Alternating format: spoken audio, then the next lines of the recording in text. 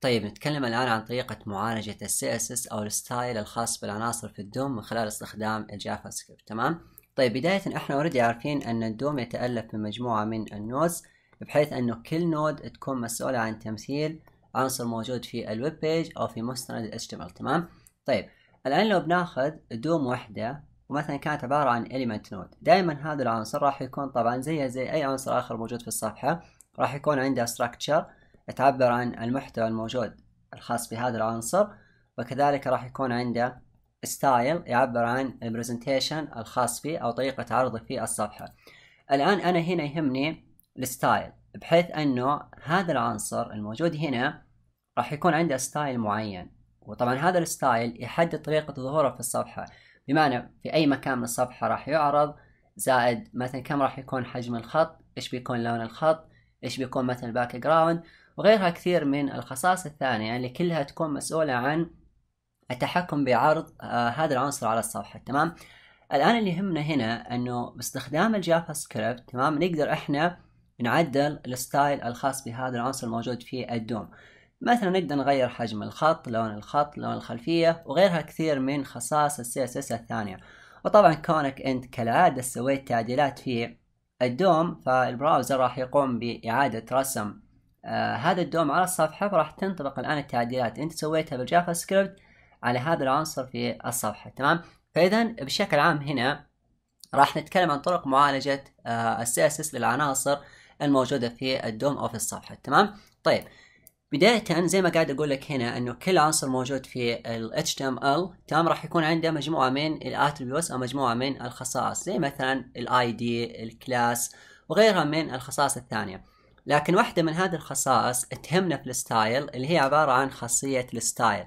فعندنا خاصية نقول عنها ال style attribute هذه الخاصية تكون مسؤولة عن وضع ما يسمى بال inline style أو ال inline CSS إحنا already عارفين إنه لما يكون عندي style حاب اطبقه على عناصر في الصفحة فكان في ثلاث طرق رئيسية.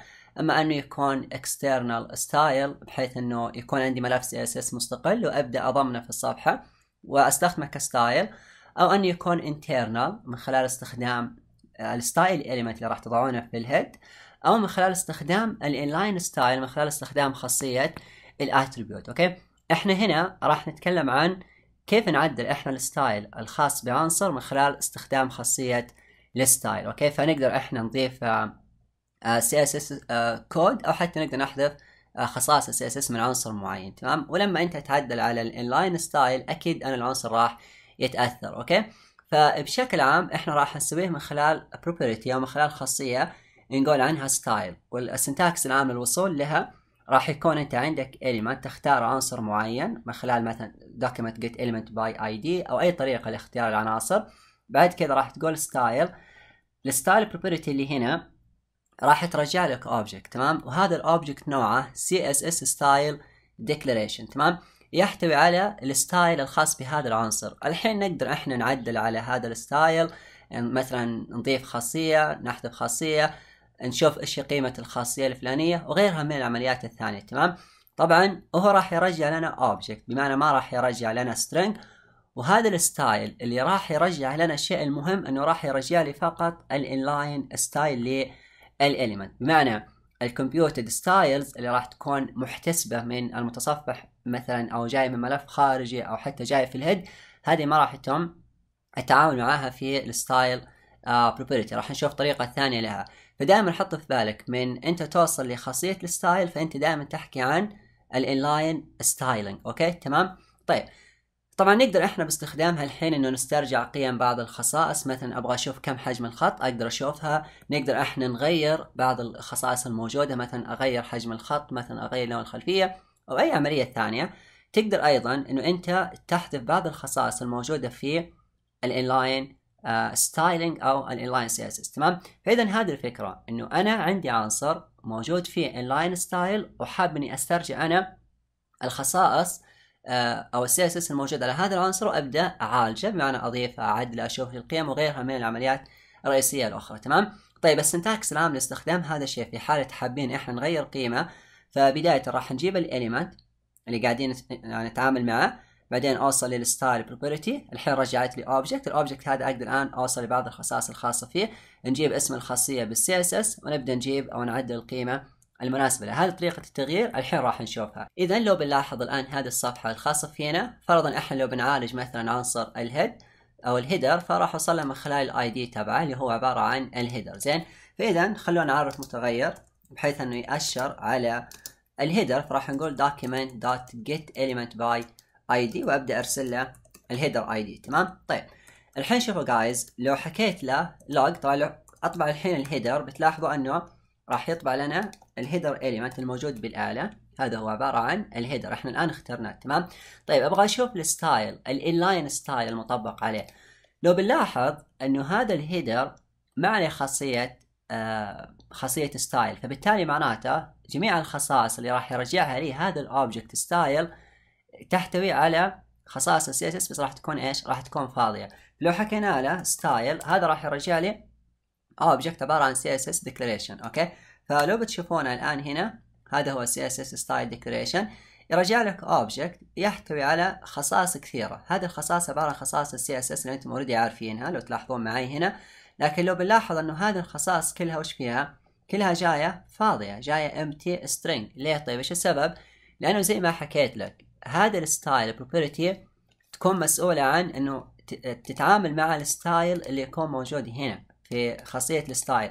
فلو فرضا حكيت له style مثلا font مثلا font size لو سوينا مثلا حاجة زي كذا بال CSS font size مثلا أعطيته مثلا 30 بكسل هذا عبارة عن inline style بتلاحظوا الحين من إجي هنا وأسوي refresh بتلاحظون الآن صار عندي خاصية موجودة في هذا ال object جاية في ال position zero اللي هي عبارة عن ال font size وبنلاحظ إنه صار عندها قيمة. بداية هي موجودة في ال position zero فأقدر أوصل لها من خلال position zero. زائد لو بتنتقلون تحت عند الخصائص عند حرف ال F مثلا شايفين الآن صارت القيمة هذه عندها أو صارت هذه الخاصية عندها قيمة. زي ما حكيت لكم إنه هذه تتكلم وتكون مسؤولة فقط عن ال inline style okay؟ لو أضفنا الخاصية الثانية مثلا color وحطينا مثلا red بحيث يعني أغير لون الخط إلى اللون الأحمر بتلاحظون يتغير معانا. زين؟ فالآن صار عندي خاصيتين ال font size وال color بقية الخصائص موجودة على هذا ال object لكن إيش فيها؟ جاية الآن empty string okay؟ فمعناته الحين مطبق بس عندي خاصيتين بال inline style اللي هي ال font size وال color أقدر أوصل لها من خلال استخدام ال position بال index فلو حكيت له of zero راح يجيب لي ال font size خاصية ال font size لو حكيت له واحد راح يجيب لي ال color وطبعا راح قاعد يجيبها بناء على خاصية ال style الموجودة هنا تمام؟ لاحظوا font size في ال zero وال color في الواحد تمام؟ فهنا لما تبغى تشوف انت إيش الخصائص الموجودة في عنصر معين تمام؟ لو حكينا له dot dot length okay يعلمني كم عندي من عنصر راح يقول لي اثنين لأنه فيها عنصرين مطبق في ال inline style ال font size وال color زين؟ طيب الآن بس بدأنا نشوف كيف ممكن إحنا نشوف الخصائص الموجودة في ال inline style okay؟ طيب الآن نبغى نتعلم آه طريقة عرضها. لو نبغى نعرضها شفتم زي قبل شوي. الخصائص الموجودة إنك تقول مثلا position of zero راح يعرض لك الخصائص الموجودة تمام؟ أو position of 1 يعلمك إيش الخصائص اللي قاعد تطبق في الـ inline style أوكي؟ بس لو فرضك أنت تبغى تأخذ قيمة خاصية أوكي؟ فمن قيم الخصائص عشان نوصل لها نوصل بهذه الطريقة. راح نقول مثلا نجيب اسم الخاصية. مثلا font font size بهذا الشكل. أبيكم الحين تركزون معي في شغلة هنا. هذه عبارة عن خاصية CSS لكن في CSS لو تذكرون كانت تسميتنا تكون حاجة زي كذا مثلا font size مثلا كنا نقول 10 10 بكسل أوكي؟ تهمني هنا التسميات في CSS لو تلاحظون في hyphen أو في يعني علامة dash لو تلاحظونها تمام؟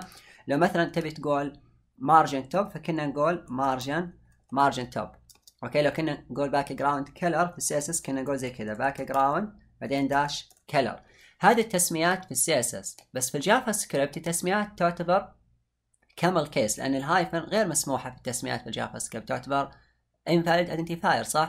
فإيش نسوي؟ نحذف الـ hyphen نحذف الـ dash يعني ونحولها إلى camel case. بمعنى الحرف هذا الحرف الأول يصير يصير upper case أو يصير capital. نفس الفكرة هنا هذه تحذفها وتبدأ تصير بهذا الشكل. أيضا لهنا تبدأ تحذف هذه وتحول حرف الـ C إلى upper case. فهذه بتصير camel case فاذا في الـ JavaScript خصائص الـ CSS هي نفسها بس بدل ما تكون فيها التسمية hyphen لا راح تحولها إلى camel case أوكي تمام؟ فالآن من أقول له أنا أبغى أسترجع قيمة خاصية فمباشرة راح أقول font size الآن راح يرجع لي قيمة هذه الخاصية فقايل لي كم؟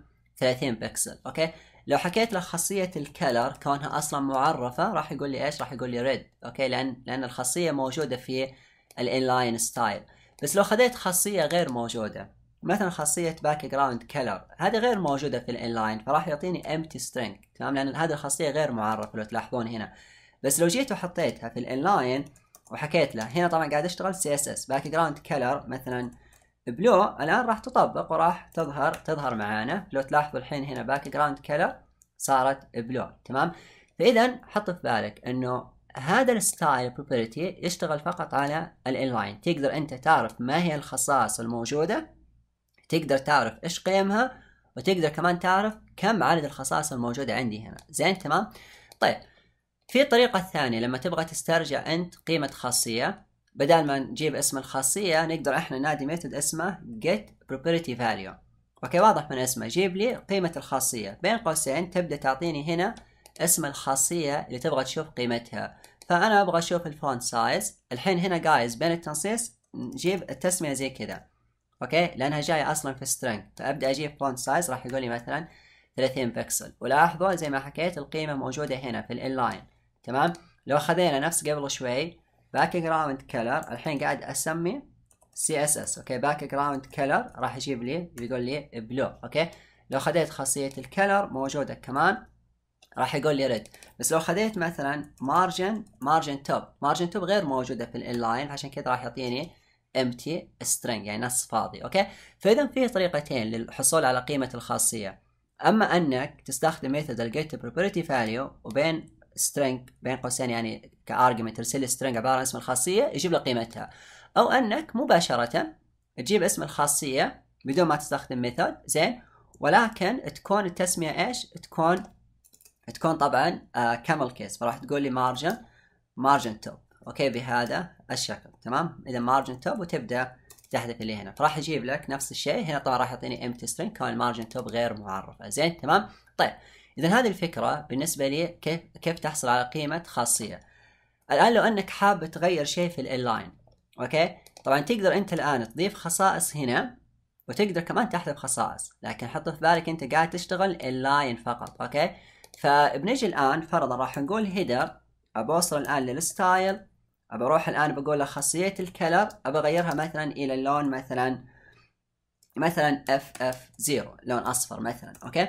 فلو تلاحظوا معي الحين خاصية الـ color يعني لون الخط لهذا الـ header راح يصير أصفر. لو بتلاحظوا لي الحين في الـ DOM لاحظوا جايز الآن تغير الـ color إلى FF 0 255 يعني F فتغيرت رغم إنه عندي هنا لو تلاحظونها جاية جاية red أوكي؟ طيب لو كانت مش موجودة تتوقعون راح تطبق؟ نعم لو كان فيه خصائص غير موجودة يعني لاحظ لو كان الـ style غير موجود وكنت أنا حاب أني أضيف style لهذا العنصر عادي ينفع أنك تسويه بهذه الطريقة. فهذا راح يروح الحين لل inline style يبدأ يضيف خاصيه خاصيه الـ color ويحطها لك بهذه القيمة. فلو بتلاحظون في الـ DOM هنا صار في البداية الـ document ما عنده خاصيه لو تلاحظوا style شايفين؟ ما عنده تمام؟ فإيش اللي صار؟ هنا بال JavaScript حكيت له أنا روح لل style الـ inline style خاصية الـ color حطها لي بهذه القيمة فجات معنا لو تلاحظونها هنا أوكي؟ فبالطريقة هذه أنت تضيف style لعنصر معين في الـ DOM زين؟ في الطريقة الثانية لو فرضا حابين نطبق margin top نقدر نقول مثلا margin top وأبدأ مثلا لو بخليها ثنتين مع بعض مثلا أجي هنا راح أقول له مثلا margin top وتكون camel case طبعا إذا margin top وأبدأ أقول له مثلا 100 pixel okay؟ بتلاحظوا الحين إنه يتأثر ب 100 بكسل هذا العنصر. وتم إضافة هذه الخاصية في ال inline style لل element okay؟ تمام؟ بالرغم إنه هنا لو تلاحظونه ما في أساسا خاصية style okay؟ تمام؟ طيب آه تقدر كمان تضيف خصائص ثانية إلى آخره. زين؟ طيب في طريقة ثانية كمان لوضع قيمة لخاصية زي ما سوينا قبل شوي get نقدر الآن نسوي set من خلال ال method يا أنك من خلال الخاصية مباشرة أو من خلال ال methods. فنقدر نقول مثلا header dot style dot راح نقول set property. method تمام؟ وتبدأ هذا ال method ترسل له قيمتين. القيمة الأولى عبارة عن الخاصية تمام؟ فال argument الأول عبارة عن الخاصية. فرضا أنا راح آخذ مثلا background color وهنا التسمية كونها جاية في string انت الحين مو بداخل JavaScript داخل string فما عندي مشكلة أستخدم أنا ال hyphen okay؟ وهنا أبدأ أجيب في ال argument الثاني قيمة الخاصية فأنا فرضا كنت أبغى اللون يكون أحمر راح أقول red okay؟ فهذه نفس الشيء يعني يا إنك تستخدم هذه الطريقة أو تستخدم هذه الطريقة كلها بالنهاية نفس الشيء تمام؟ فلاحظ إنه صار الآن عندي background color وجاية باللون الأحمر okay؟ تمام؟ طيب اذا الحين تعلمت أنت شلون تطبق style على عنصر معين okay؟ طيب لو تبون تختصرون إذا كان عندك style كثير يعني هذا تفيدني في لما يكون عندي مثلا خاصية واحدة بس لما يكون عندي خصائص كثيرة أبغى أطبقها على عنصر فعادة تستخدم class أو أنك لو تبغى تسوي واحدة واحدة زي كذا في طريقة أفضل من خلال استخدام خاصية نسميها CSS text okay؟ إذا راح نقول uh, header dot style dot css text okay؟ وتبدأ الآن تجيب لي القيمة على شكل string. إذا كان متعدد الأسطر الأزين أنك أنت تستخدم ال template بهذه الطريقة عشان تقدر تنزل على أكثر من سطر. وتبدأ الآن هنا تعطيني خصائص CSS تمام؟ تعطيني CSS declarations okay؟ فراح أقول مثلا أنا ال color راح أحطه مثلا آه مثلا black إذا 000 okay؟ بعدين أجيب الخاصية الثانية مثلا background color راح أقول مثلا red على سبيل المثال مثلا ال font size راح أقول مثلا 30 بكسل إلى آخره من الخصائص الثانية. فلاحظ خاصيه ال CSS text من اسمه تعطيني text عبارة عن نص CSS وتبدأ بداخله تجمع لي كل الخصائص اللي أنت حاب تطبقها على هذا على هذا العنصر تمام؟ فلو بنلاحظ بداية هنا جاي بدون style صح؟ لما جيت الآن وسويت لل CSS text أضاف لي خاصيه style أطبق الآن ال style اللي أنا اللي أنا أرسلته له هنا زين فبهذه الطريقة أنت الآن تعلمت شلون أنك تضيف inline style للعناصر من خلال استخدام ال JavaScript في ال DOM okay؟ طيب الآن لو بنسوي العكس لو فرضا كنت أنا حاب أحذف style يعني فرضا كان عندي مثلا اللون الموجود هنا فرضا كنت حاب أحذفه شلون تكون الطريقة؟ بالنسبة لي ال style عشان تحذف أنت خاصية من ال inline style كل اللي أنت تسويه أنه آه تضع القيمة ب empty string أو null. يعني يا بنص فاضي أو ب null وطبعا لا تنسون هذا جايز على ال inline خلاص؟ يعني الحين أنا ما أقدر أغير هذا. يعني بمعنى لو جيت الآن وحكيت له header dot style dot مثلا background color وحكيت له غير ال background color إلى مثلا empty string لو سويتها زي كذا بتلاحظوا إنه ما يتأثر. ليه طيب؟ لأنه أصلا من الأساس الخاصية هذه غير موجودة. يعني إحنا الآن أنت في بالك بتقول ابى أحذف الآن لون الخاصية هذه اللون اللي جاي كأنه موف. بس هذا مو بجاي من ال inline هذا جاي من ملف ثاني جاي من external وإحنا عارفين إنه هذه تكون مسؤولة عن عن ال inline يعني عن اللي جاي في العنصر. فأنا عندي هنا ما في خصائص أصلا صح؟ فلو كان فيه الآن تقدر أنت تحذفها. لو حكينا له style وحكيت له مثلا back uh, مثلا ground color وحاطها الآن فرضا باللون باللون الأحمر.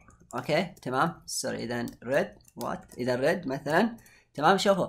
الآن قاعد أقول له إنه background color حطها لي باللون الأحمر. فشوفوا الآن معي هنا. لو جينا الآن هنا شوفوا. هو الآن لو أحفظ الملف. الآن جاي ال background color باللون الأحمر. وهي جاية ك attribute في ال inline صح؟ وكنت أبغى أحذفها. إذا في هذه الحالة تروح الخاصية وتحطها ك empty string. الآن راح تحذف. لو تشوفون الآن لو بسوي save شايفين؟ حذفت الآن هذه ال background color okay؟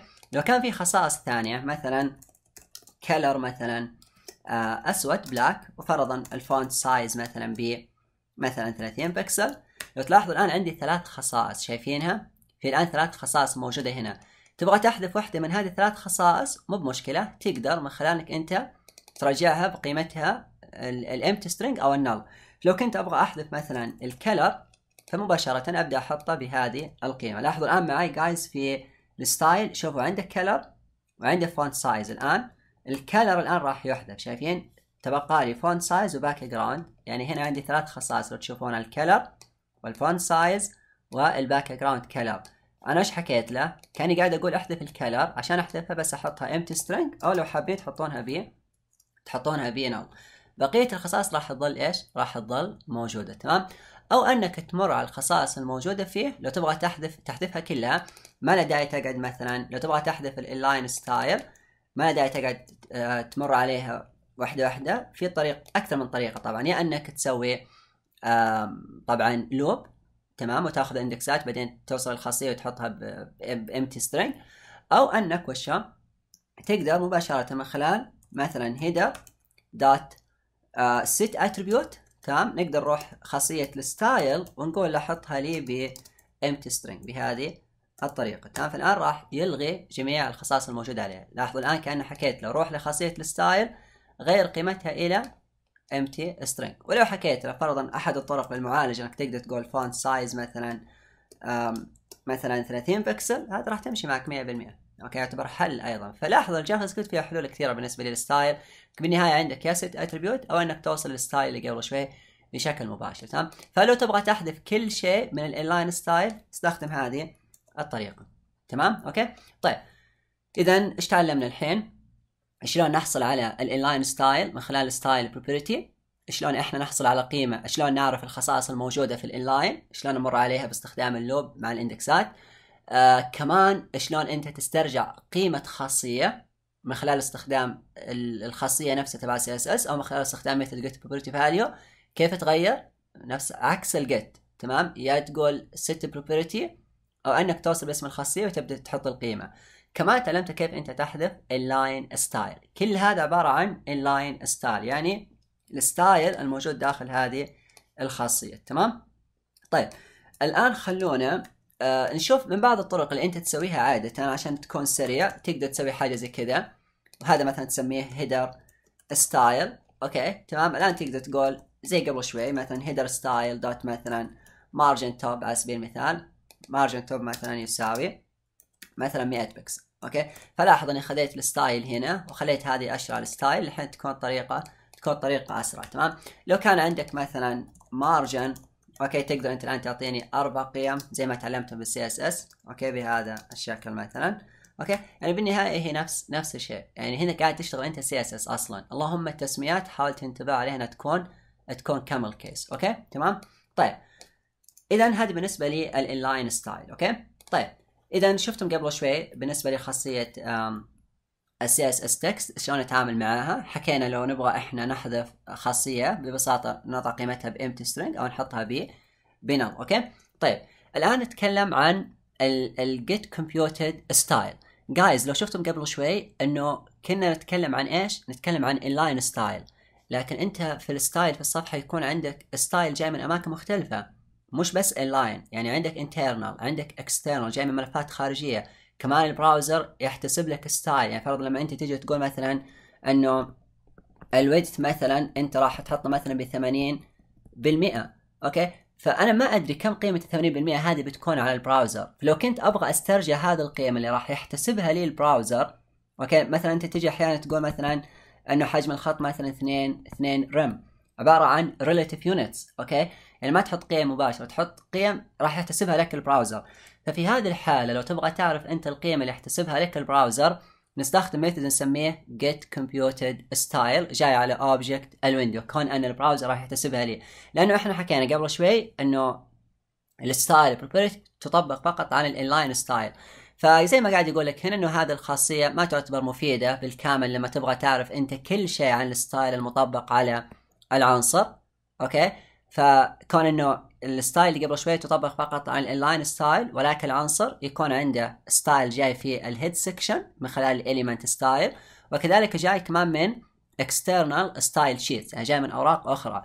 فعشان تحصل على القيم قيم خصائص ال CSS بالكامل للعنصر فهنا في هذه الحالة راح نحتس راح نستخدم إيش؟ راح نستخدم method get computed style هذا ال method راح يرجع لي object هذا ال object يحتوي على جميع قيم ال CSS المطبقة على العنصر تمام؟ بعد ما يتم آه احتساب القيم اللي جاية من ال style sheets واستبدالها واستبدال الحسابات البسيطة بها للقيم التي تحتويها. يعني زي ما حكيت هنا مثلا 80% المتصفح راح يستبدلها راح يحتسب يسوي حسابات يحتسب كم بتكون 80% من هذا الشيء ويرجع لك بالنهاية قيمة. لو تبغى أنت تحصل على هذه القيم اللي راح يحتسبها ال browser وكل الخصائص الموجودة على العنصر حتى لو كانت مش inline يعني مش inline يعني كانت external أو موجودة في ال internal في ال head فوقتها نستخدم هذا ال method. طبعا ال syntax تبعه جدا بسيط. راح نقول مثلا window اللي هو عبارة عن object ال window حق ال browser object معرف مسبقا يمثل ال tab اللي مفتوح فيها الآن المتصف آه الملف تبعك. get computed style هذا method يستقبل بعض القيم يستقبل قيمتين. يستقبل العنصر اللي أنت تبغى تأخذ ال style تبعه. وكذلك يحتوي على pseudo element هذا يعتبر optional اختياري. pseudo element زي تذكرون في ال CSS في ال pseudo classes لما كنا نقول مثلا حاجة زي كذا. مثلا after مثلا before في ال style في ال CSS مثلا first line مثلا first letter وغيرها. آه، تحتوي على شيء تذكرون كنا نسويه كنا نسميه content يعني مثلا كنا نقول after آه، كنا نحط content مثلا بين string راح نقول مثلا نص معين. لو تبغى تحصل على هذه القيم تعال حط لي argument آه، ثاني يحتوي على هذا ال pseudo ال pseudo element لكن ما تحتاجها كثير ويعتبر طبعا اختياري. إذا ما تبغاه يا إنك تحط empty string أو تحط null أو أنك من الأساس تتجاهله كونه يعتبر optional أوكي تمام؟ طيب. فاذا لو بنشوفها بشكل بسيط عشان نأخذ الآن الخصائص الموجودة على العنصر بالكامل. إلين قبل شوي تذكرون كنا بس نقدر نحصل على ال inline بس ال style بالكامل ما كنا نقدر نحصل عليه. فبشكل عام إحنا الآن نجي هنا. فرضا أنا بختار عنصر عشان أحتسب له ال style. باخذ مثلا ال header أو أي عنصر آخر.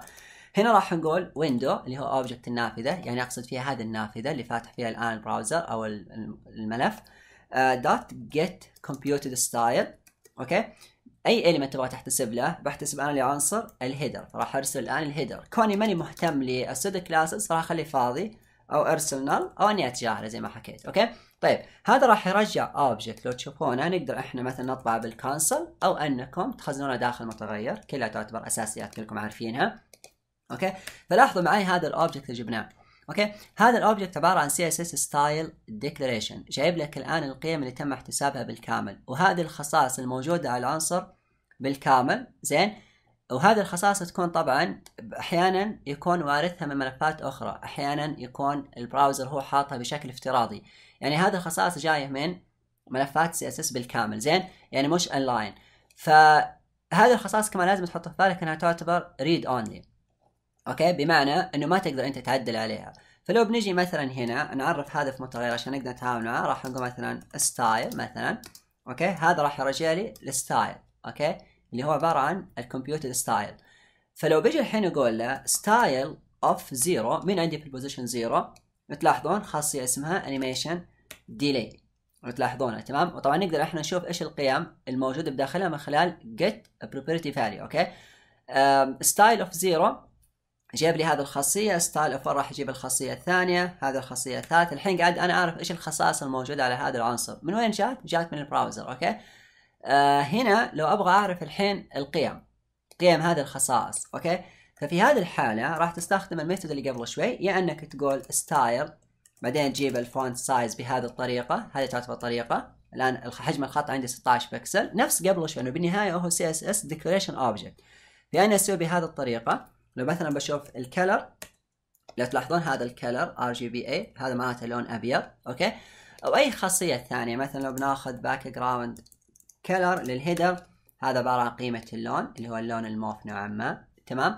يعني بهذه الخاصية أنت تا... بهذه الطريقة أنت تعرف ما هي قيمة الخاصية المطبقة على العنصر أوكي؟ لو خذينا margin مثلا خذينا margin راح يجيب القيم 0 بكسل تمام؟ لو خذينا margin top أيضا راح يقول لي 0 بكسل كونه مطبق. مين يحتسب هذه القيمة؟ ال browser هو اللي يحتسبها. زين؟ عشان كذا أحيانا تشوفون في ال browser يقول لكم computed computed value أوكي؟ القيمة اللي تم احتسابها. تمام لأن ال browser يسوي عمليات حسابية بناء على القيمة اللي أنت راح تعطيه إياها. فال computed values أو ال computed style هذا هو الشيء اللي إحنا اللي إحنا نقصده تمام؟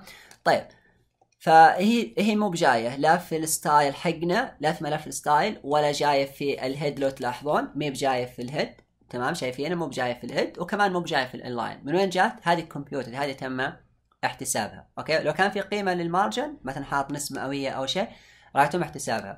لو تبون نروح لملف ال style حقنا ونبدأ نعدل عليه لو فرضا جينا لل header وحكينا له إنه margin آه، top مثلا حكينا له margin top فرضا حاطينه مثلا ب 10 10% أوكي؟ ونيجي الآن نشوف كم القيمة اللي راح يحطها لنا على ال margin ال margin top لو بنلاحظ هذه هي القيمة 77 77 بكسل. تمام؟ هل إحنا حطينا 77 بكسل؟ لا. بس مين احتسبها ال browser هو اللي احتسب لي هذه القيمة. لو بتشوفون هنا بتلاحظوا الآن هذه بتعتبر computed value إحنا في الملف حاطينها بهذه القيمة. لكن ال browser نفسه احتسب لي هذه القيمة. تعتبر ماذا؟ تعتبر computed أوكي؟ لو بنلاحظ هنا هذه هي تعتبر ال computed value هنا بتلاحظون معي هذا هو. أوكي؟ فهذا عبارة عن ال computed value بتلاحظونها جاية وينها ال margin؟ ال margin top شايفينها؟ هذا عبارة عن computed value أوكي في ال style حقنا جاية 10% بس ال browser سوى عملية حسابية. احتسبها لي وطبقها على العنصر بعدين رجعها لي. أوكي؟ فهذا المقصود ب ال computed value تمام؟ أوكي؟ طيب. آه خلونا الحين نشوف. إذا عارفين الان فهمنا إيش المقصد بال computed value وأي خاصية ثانية نفس الفكرة. زين؟ الحين لو نبغى نسترجع أيضا خاصيه زي ما سمعنا قبل شوي تقدرون تقولون get property value. أوكي راح تحطون اسم الخاصية مثلا ال font size لهذا ال header كم راح يعطيني في ال console 16 px زي ما شفتم قبل شوي. لو اعطيتوه كمان color بيجيب لكم لون أبيض. أو أي خاصية ثانية أنتم أنتم تبغونها. زين يعني في طريقتين لاسترجاعها. زين طيب ممكن بعضكم يقول طيب أنا حاب أغير الحين قيمة هذه القيمة اللي تم احتسابها. لا انتبهوا. ال computed style جايز يكون read only فقط. بما إنك ما تقدر أنت تعدله. زين فلو حاولت أنك تسوي شيء زي كذا مثلا style مثلا color أو what أي شيء وحط حاطه مثلا ب red هنا راح يعطيك ال browser راح يعطيك ال JavaScript خطأ. فإيش راح لاحظ يقول لك إنه failed to set the color property on CSS style declaration. These styles are computed. هذه ال styles اللي جاي من ال computed style هذه تم احتسابها. تمام؟ بما أنه تم احتسابها خاصية ال color تعتبر read only تعتبر للقراءة فقط. يعني أنت تقدر تقدر قيمتها بس ما تقدر أنت تعدلها. أوكي؟ ليه؟ لأنها جاية من computed style أوكي؟ تمام. هذه مهمة جدا. أوكي؟ طيب. آه ال computed style تشتغل يعني تأخذ ال style من أي مكان كان بعين الاعتبار بثلاث طرق ال external وال internal وكذلك ال inline فعلى سبيل المثال لو عشان نثبت إنه فعلا جاية من كل مكان لو حكينا له style dot background color هذا لون الخلفية راح يجيب لي الحين هنا القيمة. هذا عبارة عن لون الخلفية معناته الحين قاعد يقرأ من ملف ال CSS هذا عبارة عن اللون هذا قيمته. أوكي تمام؟ الآن لو بحط internal عشان تشوفوا كمان إنه يقرأ منه لو حكينا له style مثلا حاطين ال background color sorry اللي هو عبارة عن عنصر فرضا نقول ال header ال header element أوكي؟ لو بطبق عليه background color وبحطه مثلا باللون الأحمر عشان تلاحظونه. الحين بتلاحظوا يقول لي red شايفين؟ F 00 معناته red أوكي؟ فهذا دليل أنه الحين قرأ من هنا. ولو جينا الحين لل style أوكي؟ وغيرنا ال background color إلى لون آخر أوكي؟ بتلاحظوا كمان إنه يقرأ معنا لو حكينا له مثلا اللون راح يكون مثلا آه، أصفر مثلا F F 0 أوكي؟ هذا معناته أصفر. بتلاحظوا الحين يعطيني F F 0 أوكي؟ 250 يعني F تمام؟ فاذا إيش معناته؟ معناته فعلا أن ال computed style ياخذ جميع خصائص ال CSS من أي مكان كان مش بس من ال inline يعني قبل شوي شفتم قرأنا ال style external sheet اللي هو هذا الملف بعدين قرأنا internal هذا ال style والحين قرأنا internal sorry inline أوكي؟ ال style اللي كان في البداية وش كان؟ كان inline فقط. أوكي لا تنسون تمام؟ طيب هذه الطريقة ما تقدر أنت تقدر أنت بس تقرأ بس ما تقدر أنت تعدل على ال style بس لو حاب تعدل على ال style ففي طرق ثانية طبعا أوكي؟ الآن راح نتكلم عليها تمام؟ إذا هذه حطوا في بالكم بس إنه تعرفون ال computed style. لأنه أنت مثلا في الكود حاط 10% أوكي؟ بس مو بداري كم بتكون فعليا 10% فكنت تبغى تشوف قيمتها عشان تسوي عمليات عليها فمو مشكلة. وقتها وقتها تعال وسوي بهذه الطريقة بتحصل على القيمة اللي أنت تبغاها. تقدر أنت تخزنها الحين داخل متغير وتقدر تسوي عمليات عمليات عليها. تمام؟ أوكي؟ هذه الفكرة يعني تمام؟ طيب الحين خلونا نشوف كيف إنه إحنا مثلا نوصل لهذا الملف الموجود هنا اللي هو ملف ال style ونقدر إحنا نتعامل معه. طريقة الوصول له جدا سهلة. خلونا أول شيء نحذف ال margin هذه. أوكي؟ طيب جايز تعرفون أنتم البدايه لما تكلمنا عن ال document حكينا إنه نقدر نوصل لبعض الخصائص تبعه. زي مثلا نعرف إيش ال scripts إيش ال links الموجودة إيش الصور الموجودة في المستند وكمان كنا نقول نقدر نعرف إيش ال style sheets الموجودة عليه. فعشان نسوي هذا الكلام كنا نقول document dot style sheets أوكي؟ style sheets واضح من اسمه. راح تجيب لك ال styles الموجودة المطبقة على الصفحة. فأنا ما عندي إلا style واحد لو تلاحظونه هنا. معناته هذا ال style sheets collection راح يعطيني style sheet list هذه المجموعة. فيها بس عنصر واحد عبارة عن style sheet لأنه ما عندي أنا إلا ملف واحد راح يكون موجود في ال position zero هذا هو object CSS style sheet تبعنا. زين؟ فأقدر أوصل له من خلال ال zero. الحين أقدر أنا أتعامل معه. إيش يعني أتعامل معه؟ يعني أقدر أوصل لكل حاجة موجودة هنا. أشوف قيمها أقدر أضيف عليه. مثلا أقدر أضيف خاصية هنا بال JavaScript أوكي؟ طيب فاذا بالطريقة هذه أنت الآن حصلت على ملف ال style تبعك أوكي؟ طبعا لو كان عندنا مثلا style مثلا كان عندي آه مثلا style ثاني مع إنه الحين ما راح يظهر يعطينا خطأ في ال JavaScript كون إنه الملف هذا غير موجود. بس لو كان موجود يعني فبنلاحظ لو حكينا على styles مثلا sheets راح يعطيني آه عنصرين لو تلاحظوا. عندي لأنه كان عندي ملفين هذا ال style الأول وهذا ملف ال style الثاني لأنه عادة يكون عندك أكثر من style صح؟ يعني أكثر من ملف. فبس أبيك تعرف إنه تقدر تحصل عليها كلها من خلال أنت عارف إنه هذا في ال zero أوكي؟ هذاك بيكون في الواحد وهكذا تمام؟ طيب. الحين okay نبغى نحصل الآن على أول style عندي. يعني كأني أبغى أوصل لهذا الملف وأعدل عليه. يعني أعدل على هذا الملف. فالطريقة جدا سهلة. راح نعرف مثلا متغير نسميه مثلا style sheet أو whatever style style sheet مثلا يساوي تمام؟ of zero تمام إحنا نبغى أول ملف. okay؟ طيب أو ممكن حتى تقولوا له item of zero okay؟ تمام بهذا الشكل. كلها تعتبر صحيح لأنها collection بالنهاية.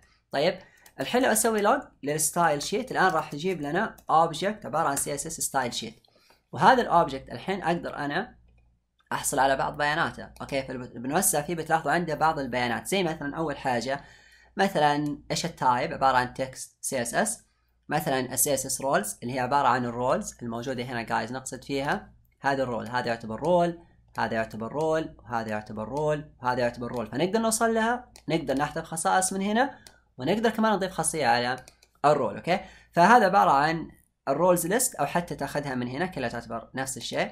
هذا عبارة عن rules لو تلاحظون هذه هي ال rules هذا ال rule الأول اللي هو عبارة عن ال asterisk الموجود هنا شايفينه بعدين عندي ال header اللي هو عبارة عن ال rule الثاني. بعدين ال header اللي بعده header اللي بداخلها h1 وهكذا. فنقدر نوصل له لانها راح ترجع لي ال CSS style declaration object فمعناته أقدر أعدل عليه وأقدر كمان إني أضيف إليه تمام؟ طيب اذا لو حكينا على إحنا إيش نبغى؟ نبغى إحنا طبعا بتلاحظوا كمان ال type text CSS أول شيء لو نبغى إحنا ناخذ ال rules عشان أنا أبغى أوصل مثلا لهذه. فأول شيء لازم أوصل ال rules فعشان كذا راح نقول style sheets dot rules okay rules الان راح يجيب لك الرولز شوفوا جايز عندكم خاصية هنا شايفينها اسمها rules. شايفينها؟ فراح أجيب لك CSS rule list تجيب لك كل آه كل ال rules الموجودة عندك في قائمة. فلو بتلاحظوا الحين معي هذا هو الآن جايبها لي كلها. تمام؟ وجاي في index ات 0 1 عندي 13 rule. okay؟ تمام؟ طيب يعني الطول 13 أنا أبغى أوصل مثل أي rule كنت تبغى تعدل. انت فرضا كنت تبغى تعدل على هذا ال rule. اذا هذه في الترتيب الملف. جاي في ال position واحد. شايفينها؟ جاي في ال position 1 طيب إذا أقدر أدخل عليها الحين لو حكيت له of 1 يعني هذه هذا رقم اثنين اللي هي ال header. لاحظوا الآن بيرجع لي object okay؟ عبارة عن CSS style rule في عدة خصائص. مثلا ال selector إيش اسم ال selector حقك؟ إنت رجعت هذه إيش اسم ال selector اسمه header نوعه آه نوعه element selector okay؟ بعد كذا يعطيك النوع تبعه. إيش نوع يعني هذا ال selector آه لأنه عندها أنواع طبعا. بعدين عندك ال text هذا هو ال text الموجود داخلها بالكامل نفس ال text الموجود هنا هذا نسميه CSS text. فلو تلاحظوا هذا هو جايبه لي بالكامل okay؟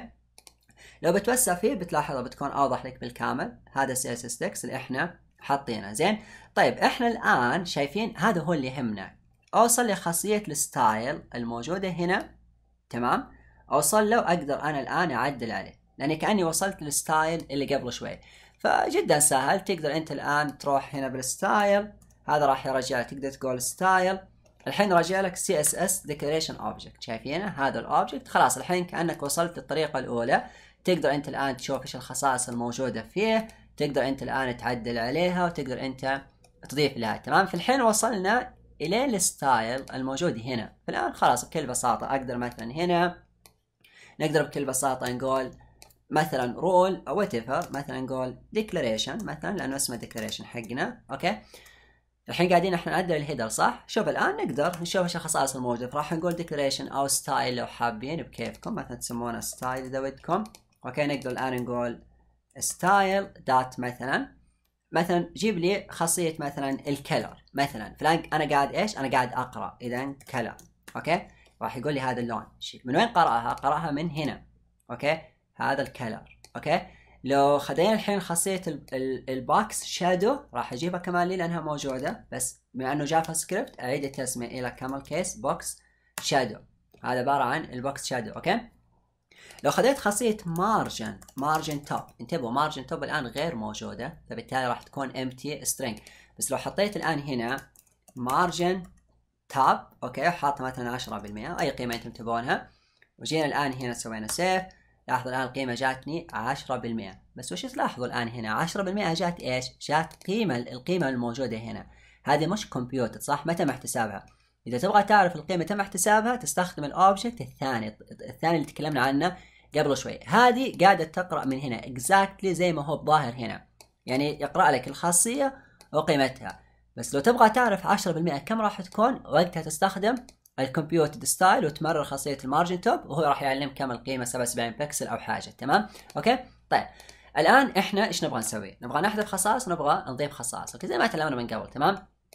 آه كمان لو تبغى تسترجع الخاصية عادي تقدر تستخدم الطريقة الثانية من خلال method آه get property style يا yeah, get property اذا get property value وتقدر ترسل لي الآن css property مثلا أم color okay زي قبل شوية عادي يعني الطريقة نفسها. okay من خلال ال method أو من خلال ال attribute نفسها أو الخاصية نفسها. okay؟ طيب الحين نبغى نعدل.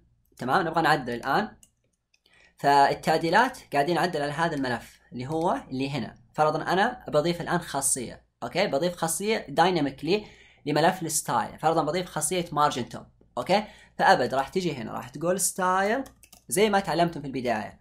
margin آه margin top okay يساوي ابدأ أعطني القيمة من هنا مثلا 100 بكسل أو أي قيمة أنت تبغاها؟ 10% أو تفر اللي يناسبك. okay فلو تلاحظ الآن تم تطبيقه.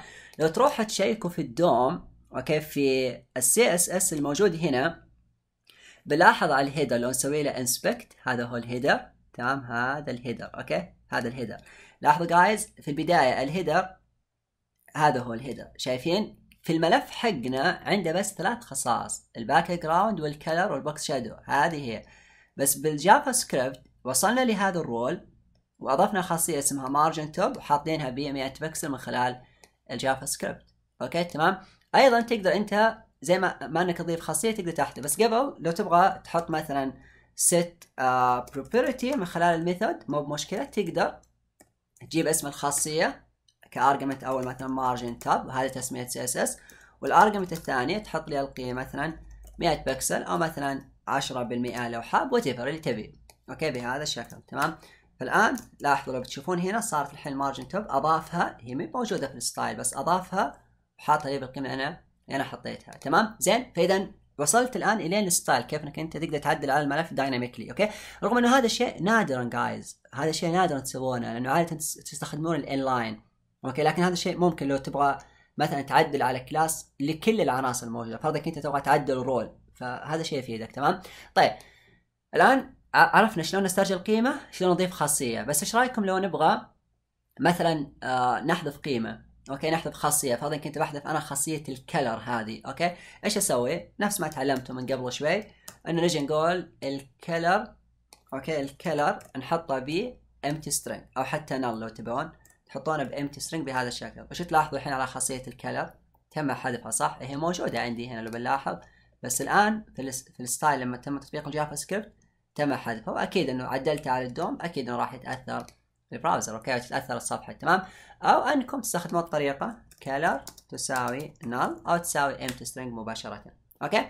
اذا هذا لما تبون توصلون لملفات ال style. أول شيء تجيبون ال style حقكم ال style sheet بعدين تجيبون object style انت راح توصل لل rules لا تنسون على حسب أرقام ال rules. لو كنت تبغى توصل إلى هذه ال rule فأبد وقتها راح تحط إيش؟ وقتها راح تحط ال position ب 2 وهكذا. زين حتى توصل لل rule اللي أنت اللي أنت تبغاها. تمام؟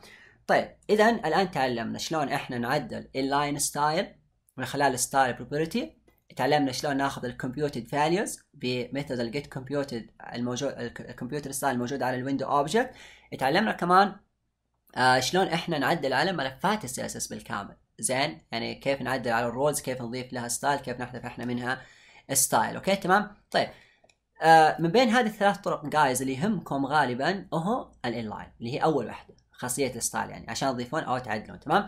ولكن في طرق أفضل منها بكثير من خلال استخدام الكلاسات. okay؟ إحنا عندنا تذكرون دائما ال style ازين شيء نتعامل به ال class خاصية ال class ونبدأ نطبق الكلاسات ويكون فيها في ال CSS يعني كلاسات معينة عليها ونبدأ إحنا نضيفها ونحذفها لهذا العنصر تمام؟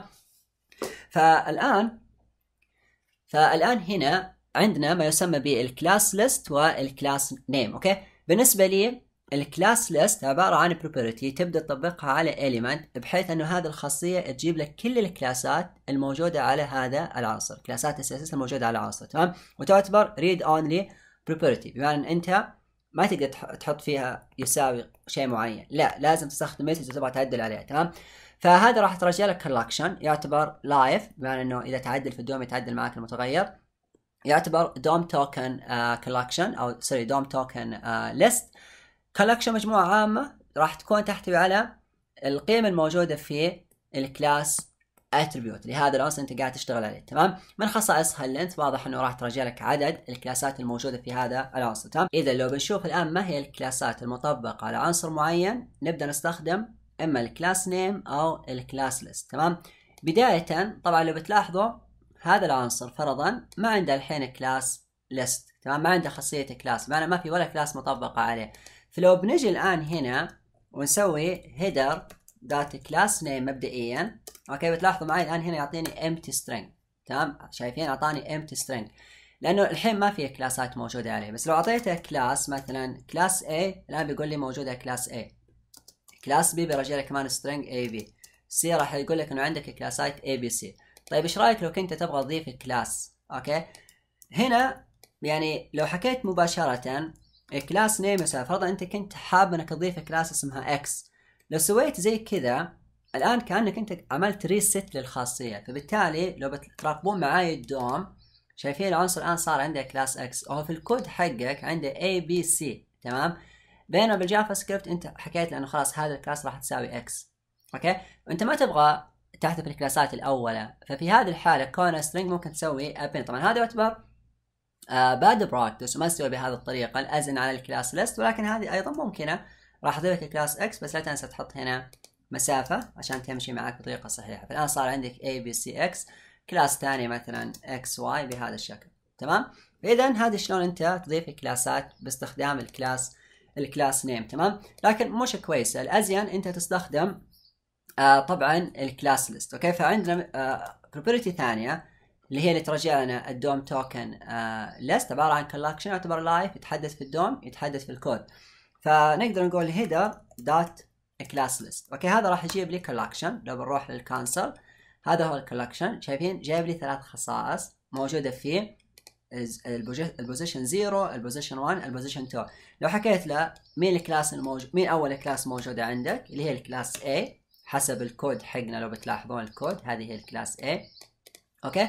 لو خذيت of 1 okay راح يقول لك ال B إلى اخره تمام طبعا تقدرون كمان توصلون لل item إذا حابين item of 0 راح يجيب لك ال class A كونه هي جاي في ال position 0 تمام؟ فهذه لو تبغى تعرف إيش الكلاسات الموجودة على عنصر لو تبغى تعرف كم عددها راح تقول dot length يعني كم عدد الكلاسات المطبقه ثلاث كلاسات فعلا A B C ثلاث كلاسات. okay؟ الآن لو تبغى تشيك على عنصر. هل ال class موجودة فيه ولا لا؟ طبعا by the way مو بزين أنكم تجون لو تبغون تضيفون لا تسوون زي قبل شوي لما حكينا له class list يساوي something. رغم إنها تمشي معاكم it's fine لكن يعتبر bad practice okay لا تسوون شيء زي كذا. مثلا X كونه بيعمل reset لو تلاحظون حولها إلى X ولو سويتم append تمشي معاكم بس يعتبر bad practice okay فلا تسوون شيء زي كذا. استخدموا methods ال add وغيرها. فالحين لو نبغى نشيك أول شيء هل هذا العنصر عنده class أنا أبي أشيك هل هي موجودة ولا لا؟ راح نسوي شيء زي كذا راح نقول header dot class list dot contains. وتبدأون ترسلون لي اسم ال class a string اللي هو ال token يعني. فراح نقول هل هذا العنصر اللي هو ال header هل يحتوي على class اسمها A راح يقول لي true ليه؟ لأنه فعلا العنصر اللي تلاحظون ال header يحتوي على class A فراح يقول لي هنا true okay؟ هل يحتوي على class B نعم يحتوي إذا true. هل يحتوي على class C نعم لو بتلاحظوا هنا عندي class C فراح يقول لي true. بس هل تحتوي على class X لا ما عندي class X لو تلاحظون في ال DOM شايفين ال DOM؟ ما في. عشان كذا راح يعطيني آه false okay؟ خطأ يعني غير موجودة okay؟ فهذا لما تبغى تشيك هل ال class موجود على العنصر ولا لا تمام؟ طيب لما تبغى تضيف الأزين إنك تسويها زي كذا header dot class list تنادي method ال add okay؟ وتبدأ ترسل لي القيم بهذا الشكل. ترسل لي هنا اسم ال class. فرضا تبغى تضيف class اسمه X راح اضيف X بهذا الشكل. الحين لو بتراقبون معي ال DOM. صار عندها class X والكلاسات الأولى تظل موجودة. A B C X تمام؟ تبغى تضيف class ثانية انتبه ما تسوي زي كذا. الآن هنا راح يعطيك خطأ ما راح تضاف شايفين؟ لم يتم إضافتها. زين لازم تكون إيش؟ لازم تكون token يعني لازم تكون قيمة واحدة تمام؟ فهذه ترسلها كقيمة ثانية ترسل هنا ال Y بهذا الشكل. okay نبدأ الآن نرسلها بهذه الطريقة. راح تضاف معنا تلاحظون X Y. class ثالثة تضيفها بهذا الشكل Z. okay تمام. وتبدأ تنضاف معك من خلال method ال add. okay؟ آه إيش رأيكم لو أضفنا class already موجودة؟ لو أضفت class موجودة ما راح تضاف لأن already بتكون موجودة. شايفين؟ ال A already موجودة فلو أضفتها ما كأني سويت ولا شيء. تعتبر already already موجودة. تمام؟ هذه هي ال A okay؟ لأنها موجودة هنا في ال document okay؟ طيب. الحين آه لو نبغى نشوف الريموف شلون أنا أحذف class okay؟ طريقة حذف ال class جدا سهلة. من خلال ميثود نسميه ريموف. راح نقول class list دوت ريموف وعطني الآن اسم ال class اللي أنت تبغى تحذفها. فلو أبغى أحذف ال A شايفين؟ حذفت ال A تبغى تحذف البي راح تحذف الاي تظل الاي والسي موجودة. تبغى تحذف ال C راح تظل بس ال A وال B وهذه طبعا كلاسات فعلية في في الملف ال style الخاص فيك تمام؟ طيب لو تحذف class غير موجودة ما راح يعطيك خطأ okay؟ بس ما راح يسوي ولا شيء تمام؟ يعني ما راح تأثر ولا شيء. لاحظوا إنه ما يرمي خطأ okay؟ لما نحذف class غير موجودة. طيب باقي لنا الحين شغلة إنه ال toggle أوكي؟ يعني أبدل شيء. بمعنى عندنا method نسميه toggle أوكي؟ هذا ال method يستقبل class إذا كانت ذيك اللحظة ال class A موجودة وانت ناديت ال toggle راح يحذفها. بس لو كانت غير موجودة وإنت الآن ناديت ال toggle وهي كانت غير موجودة فراح يضيفها يعني يسوي العكس من اسمه toggle زي ما تعلمنا في ال attributes تذكرون في الدروس الماضية. فالآن في الملف هي موجودة ال A بس بال toggle لو تلاحظون الآن سويت toggle لل A فبتلاحظون تحذف. okay؟ لأن صار العكس. هي موجودة فالعكس انها تكون غير موجودة. عشان كذا صارت غير موجودة.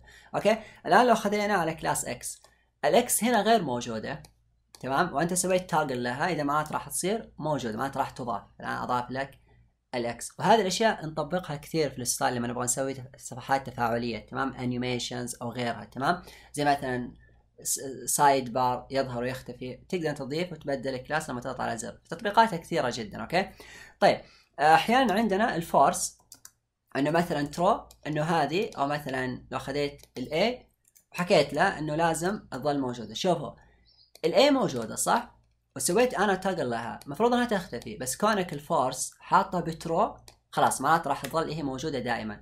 لو حكيت false كأني الآن قاعد أقول لا أخفيها. كأني سويت العكس. تمام؟ يعني هي الآن موجودة صح؟ وأنت كأنك قاعد تبغى تخفيها بال false معناته راح يخفيها سواء كانت موجودة ولا لا كانك تلغي العملية. زين ال X غير موجودة لو خليتها false ما راح تضاف أيضا. شايفين ال X ما أضيفت أنا قاعد أقول أنا false لا تضيفها. خلاص؟ يعني سو... لا تسوي. سو... سو... كأنك تسوي العكس لا تصير يعني تمام؟ فالآن بال toggle غير موجودة الآن صارت موجودة. لو حكيت له true معناته أبغاه أبغاه يتنفذ هذا الشيء. okay؟ sorry لو حكيت هنا true أبغى يتنفذ هذا الشيء. شايفين؟ كل مرة تكون X موجودة بس لو سويت false خلاص لا تخليها موجودة لا عاد اطبق ال toggle عليه تمام؟ هذه بالنسبة لي method ال toggle لما تبغى تبدل بين class هل هي موجودة ولا لا؟ وهذا يفيدنا لما نضغط على زر نسوي شيء معناته نضيف class مثلا لو نبغى نسوي عكسه نحذف class وهذه يعطيك إمكانيات حرفيا غير محدودة وغير منتهية لإنشاء أفكار غير منتهية وغير محدودة وأنا فعليا أعني كلمة غير منتهية وغير محدودة تمام؟